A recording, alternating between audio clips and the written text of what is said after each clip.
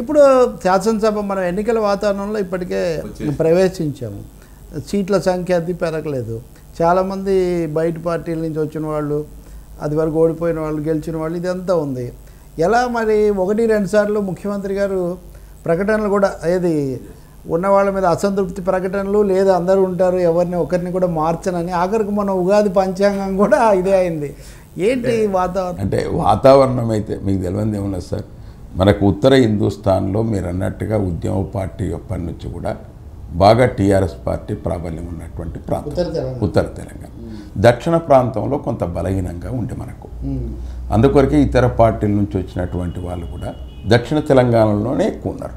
ఖమ్మం కానీ నల్గొండ కానీ మహబూబ్ నగర్ కానీ హైదరాబాద్ కానీ ఈ ప్రాంతంలోనే ఎక్కువగా ఉన్నారు. కాబట్టి వీళ్ళకి ఇస్తే సీట్లు ఇస్తే మా ఉద్యమ పార్టీ నుంచి వచ్చిన వాళ్ళకి ఏమైనా ఇబ్బంది అవుతుంది అన్నట్టు కూడా లేదు.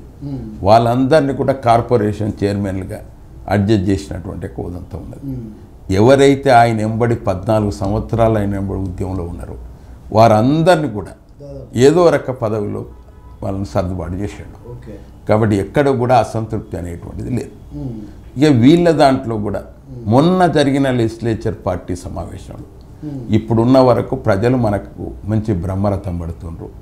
మీ అంతలో మీరు ఏమైనా చేసుకుంటే తప్ప ఉమ్. మీరు అందరూ కూడా గెలిచే అవకాశం ఉంటుందని కూడా చెప్పిండు. అంటే మీరు అనంటే ఇంత ఆత్మవిశ్వాసం ఇదంతా ఉంటే కనుక ఇంకొంచెము అసహనం అనండి లేకపోతే ఇది ఇంకొంచెము రిసెప్షన్ ఎక్కువగా ఉంటే బాగుంటుంది కదా వాస్తవానికి అది ఎందుకు లేకుండా పోతుంది? అంటే ఒక ఆగ్రహానికి గురవుతున్నారా? ఆగ్రహానికి ఏం గురైతే లేరు. ఎందుకంటే ప్రజల పర్సెప్షన్ ఎప్పుడు తెలుస్తూనే ఉన్నది సార్. ఎక్కడ పాలకులు. పాలకులలో కూడా ఎందుకంటే ఇష్యూ వచ్చే వరకు మాత్రం కొన్ని సందర్భాల్లో ఎట్లుంటాయంటే నేను ఇట్లా నడుపుదామని అనుకుంటే వీళ్ళు ఇట్లా ఆటంకం చేయబట్టి అనేది కొద్దిగా వస్తుంది సార్. ఎవరికైనా కానీ పని చేసినటువంటి వానికి ఆ విధమైనటువంటిది ఉంటుంది.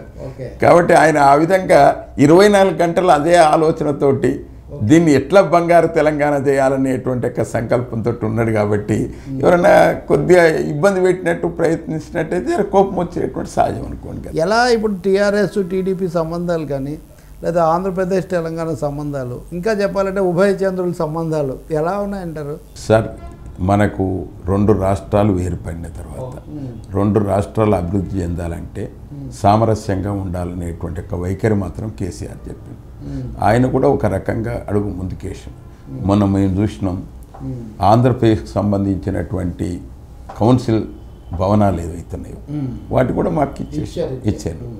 కాబట్టి ఒక అడుగు ముందుకు పడ్డది.